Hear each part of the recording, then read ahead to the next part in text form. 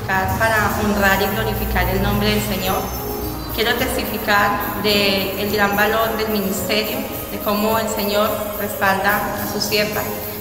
Mi testimonio es cuando eh, tenía tres meses de embarazo de mi segunda hija, me diagnosticaron que mi pequeña venía con síndrome de Down. Los médicos me dijeron que optara por hacerme un examen, el cual se llama miocentesis, porque lo más seguro era que mi bebé vendría con esta enfermedad y que optara por no tenerme. El Señor, en su infinita misericordia, me dio un sueño maravilloso en el cual me mostró que no me hiciera dicho examen, sino que tuviese fe y esperara en su manifestación. Es así, hermanos, como cuando tenía siete meses de embarazo, estando en un estudio bíblico, eh, la hermana María Luisa, al finalizar en la oración, eh, la hermana dijo, cuando empezó a orar, lo primero que dijo fue, Señor, te pido por aquellos niños que tienen síndrome de Down, te pido, Señor, por los que vienen y aún por los que tienen dicha enfermedad, que tú los sanes, Señor, que tú obres esa liberación.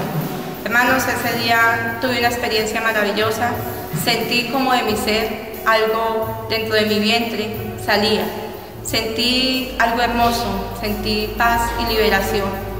Eh, el Señor, la honra y la gloria es para Él, porque aquel día, por labios de su sierva, por labios de esa oración, hizo sanidad en mi pequeña. Es así como el Señor me lo confirmó en una profecía. Me decía, y sí, aquello que has sentido y aquello que has vivido, yo te lo he dado porque he sanado a tu pequeña, la he libertado.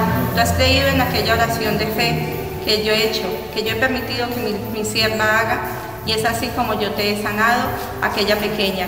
Hermanos, para la honra y la gloria del Señor testifico, mi niña nació completamente sana, sin ninguna enfermedad, sin ninguna dolencia, tiene ahora mismo dos años. También el Señor me hacía la promesa de cómo estaría sanando, libertando a una persona de mi familia, la cual durante muchos años estuvo en los caminos de la drogadicción. Y el Señor me decía, no temas, porque yo sacaré a aquella varona, porque aún tocará fondo, pero yo me glorificaré en el último momento. Mi familiar llevaba 15 años perdida totalmente en el mundo de la drogadicción. El Señor, conforme a su promesa, lo cumplió, la sacó, la libertó. Y es así como cuando la hermana María Luisa estuvo haciendo un estudio bíblico en la ciudad de Armenia, la hermana eh, expresó unas palabras maravillosas y dijo, si ustedes tienen fe, aún de las enfermedades venéreas, podrán ser sanados y sanarán. Es así como esta persona estaba teniendo en ese momento una enfermedad, la cual ya los médicos le habían desahuciado, le decían que por esta gravedad de esa enfermedad que había adquirido, eh, su enfermedad venérea no podía ser sana.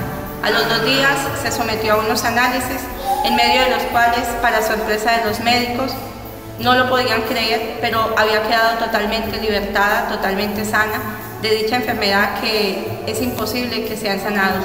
Por ello yo testifico para darle la honra y la gloria al Señor, porque es maravilloso todo lo que yo he vivido, todo lo que el Señor me ha dado en medio de esta su iglesia, el respaldo y la bendición que cada día Dios da por medio de su ministerio. Todo lo testifico para dar la honra y la gloria al Señor. Yo testifico para darle la gloria y la honra al Señor hace dos años llegué a esta iglesia, la Iglesia Ministerial de Jesucristo Internacional. Cuando yo llegué, venía del mundo, aunque yo venía buscando al Señor, pero no comprendía sus caminos. Cuando llegué fue un día sábado donde escuché a la enseñanza de la hermana Maravilla. Cuando yo escuché a la hermana, en ese momento no sentía ese amor por la hermana, sino que la escuchaba como una maestra y yo me fui con ese gozo y esa paz ese día porque el Señor me habló, tocó lo profundo de mi corazón. Y durante esa semana estuve meditando mucho en lo que el Señor me había hablado. Eh, luego pues tenía esa necesidad de seguir buscando al Señor y así como eh, investigué en la página web de la iglesia y seguí escuchando los estudios bíblicos y me seguí enamorando de la iglesia, de, la, como la forma que la hermana nos enseñaba y la fui mirando como una madre, como una maestra y dándole gracias cada día al Señor por tenerla ahí. Y es así, hermano, que aún cada día que ha pasado en mi vida, desde que llegué el primer día hace dos años, que mi vida, yo quise quitarme la vida y cuando yo llegué aquí el Señor me dijo que la vida y la muerte está en sus manos y que Él tenía un propósito para mí y que yo confiara en Él y esperara en Él.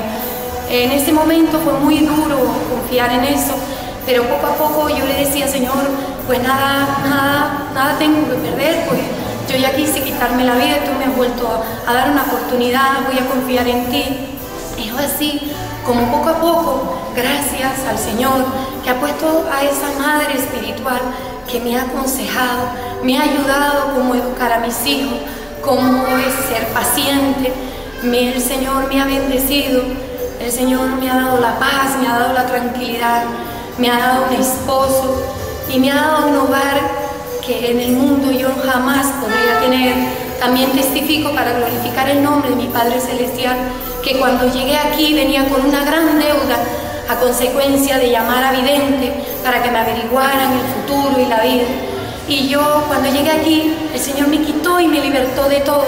Y ahora soy una mujer libre, gracias al Señor. Y esto lo testifico para glorificar el nombre de mi Padre Celestial.